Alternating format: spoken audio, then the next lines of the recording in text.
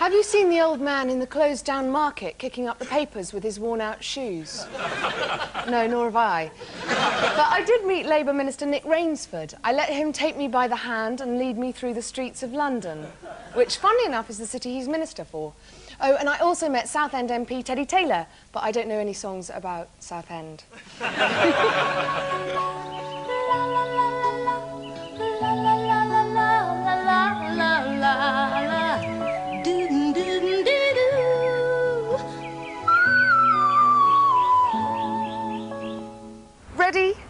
Teddy, go.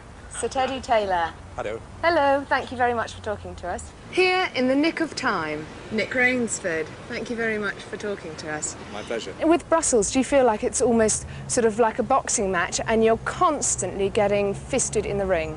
Well, the trouble with Brussels is that when they decide things, it's not what's right and what's wrong. If I said I could smell power, how would you look at me?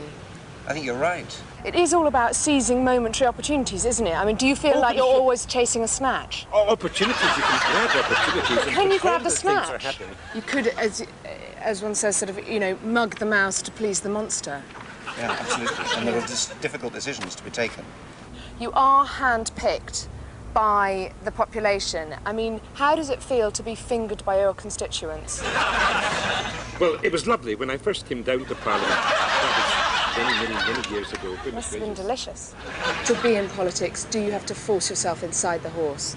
You have to force yourself at times. You have to do things that you probably instinctively don't want to do. Mm-mm. The prospect of being inside the horse doesn't grab you. No, no, that's part of the, the discipline. Ah. You force yourself into the horse. You force yourself to do things that have got to be done. Yeah. And then you enjoy the bits that are very enjoyable. You've got a yellow ribbon. Where are you going to tie it? A yellow ribbon. Now, what would a yellow ribbon tell me?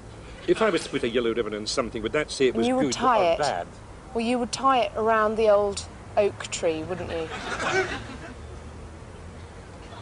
I don't know what the yellow ribbon's meant to display. If the ribbon says this is good, or this is bad, or this is alarming, It just says it's an oak tree.